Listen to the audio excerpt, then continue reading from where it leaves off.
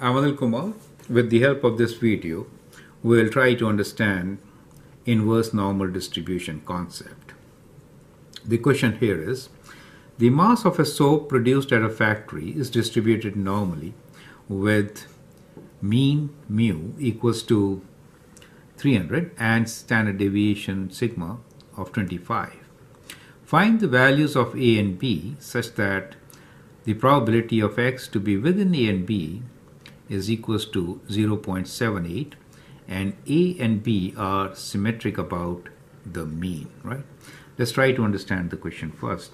So we'll just consider the normal distribution graph for the given situation, which is kind of like this. Here we are given mean, the center value, as 300. So this is 300 for us. Standard deviation is deviation from the mean, right? Is deviation from the mean. In this case, is like this. So that is the standard deviation, right? So equally spaced because of the symmetry. So we have that as a standard deviation points. 25 more will give us 325 okay and 25 less will be 275 is it okay so those are the values so what are these values? These are the mass. So we have not written any units here. We'll assume the mass to be in grams right? So this is mass in grams. So let me write mass in grams okay. So, so the random value, random variable takes up the value of the mass, which is a continuous function, correct?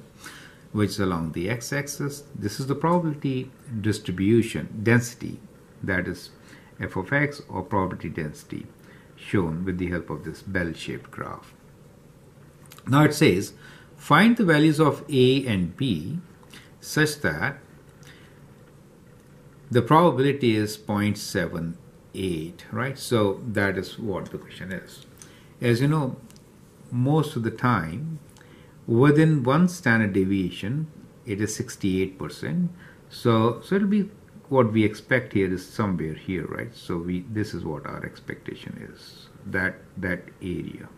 So this is the central area which we are interested in finding right? Symmetric about the mean that means this is the area which we want to find basically. And this area should be equals to how much? 78 percent right? That is the question.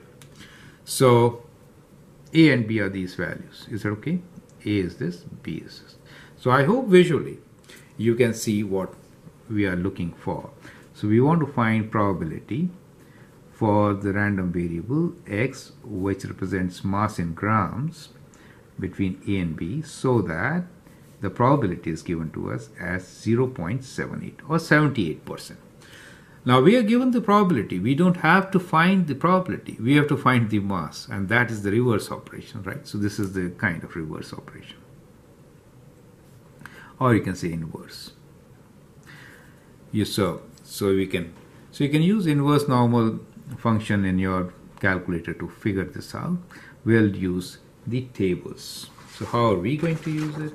We are going to use these tables. Now, in my table, I have values from the left side, not from the center.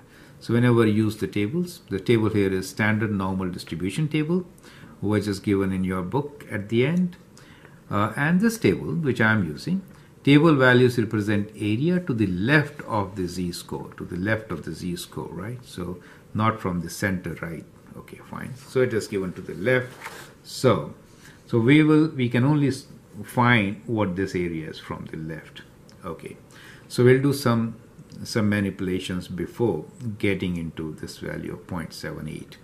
Since I'm going to use that table, so what I will try to explain you here is, we know this is 78%. Is it okay? This is 78%. So we want to know how much is this to use my table. you get my point, right? How much is this? Okay. So, so from the whole, we'll take away 78%. So we get two portions. We get these two, and then we'll divide by two. Is that okay? So, so if I want to find, so this is the whole thing, right? So let me first find A. the B is symmetric, so finding A is good enough, right? So from symmetry,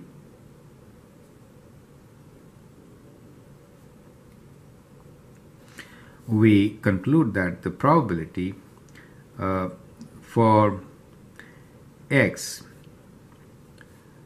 to be will do less than A is how much. This is what we're trying to figure out, right, from symmetry.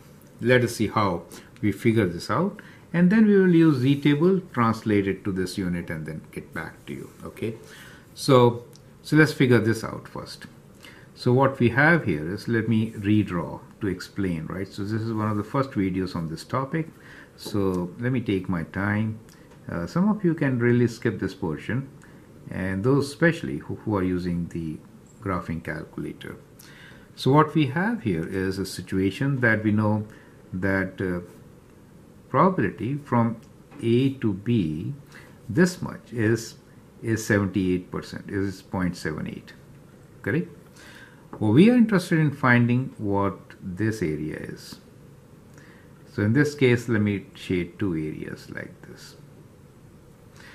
So that is to say, what is the probability for x to be less than a? This is what we are trying to say, right? So we say this probability is 1 minus 0.78, 0.78. So if I do 1 minus 0.78, I get these two, but both are same. Do you see that?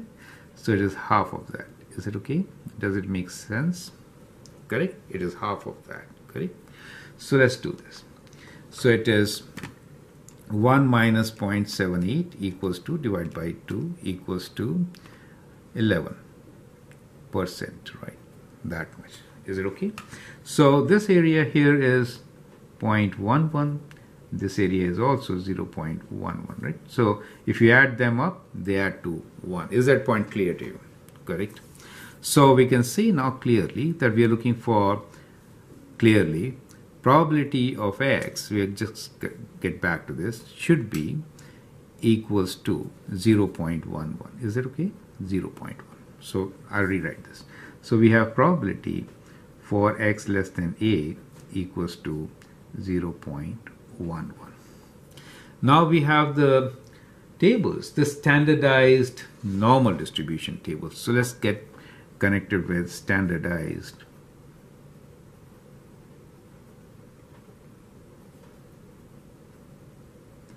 normal tables. Okay. So there we have z-scores, is that okay? So now we'll read the z-score for this value. So what we will do is that we will find what z-score will give me 0.11, right? So probability for a z-score to be less than what is 0.11. This is what we are interested in.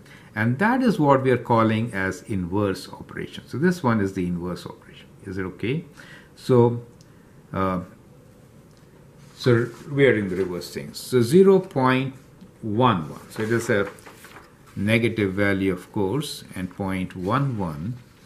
So here, if you see 0.11, we have 0.11. Okay, so you could take one of these values, correct? 0.111, 0.109. So I think this is closer. Okay, so point minus 1.23. So minus 1.23, we get this value. Minus 1.23. Do you get an idea?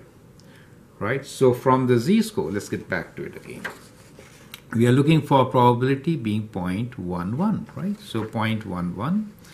So we exactly don't have 0.110, but we have very close to this. So 0.115, 0.113, 0.111, 109. So that is seems to be closer.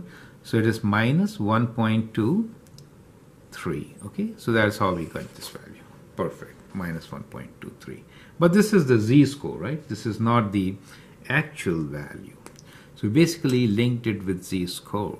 So we know z-score is that much, right?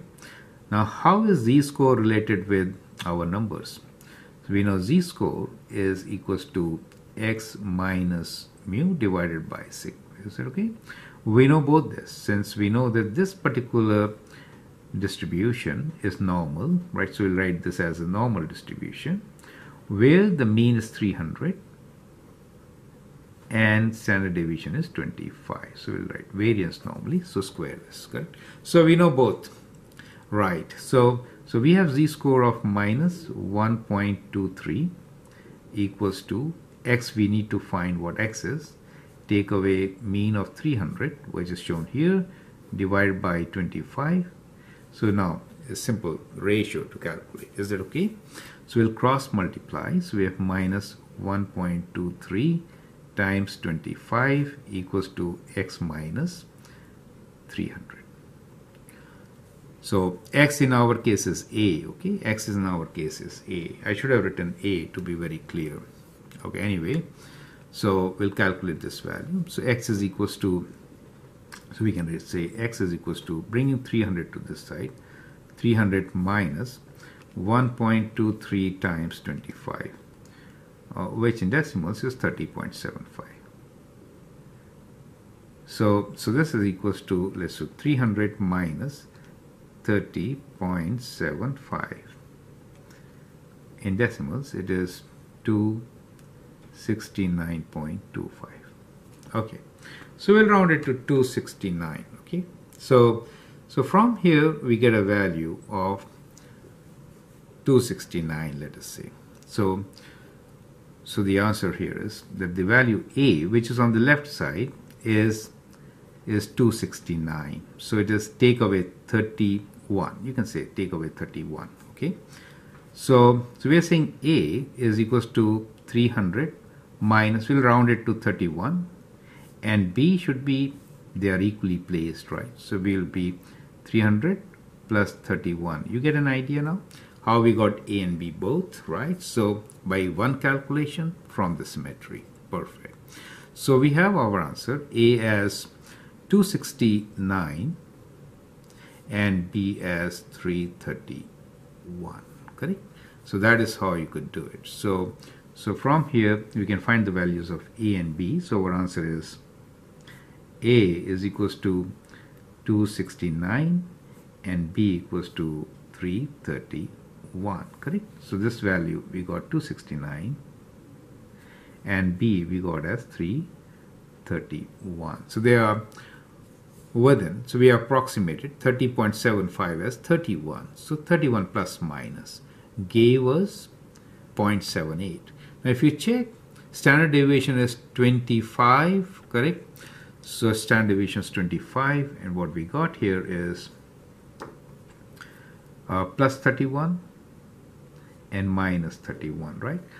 Which is within one standard deviation normally within one standard deviation you expect 68% this is 78% slightly more. So it works perfect right? I'm Anil Kumar and I hope these simple calculations help you to understand a very complex operation which is inverse normal distribution you may go through this video once again capture all the concepts and get prepared for your test. I'm Anil Kumar. You can always share and subscribe my videos. Thank you and all the best.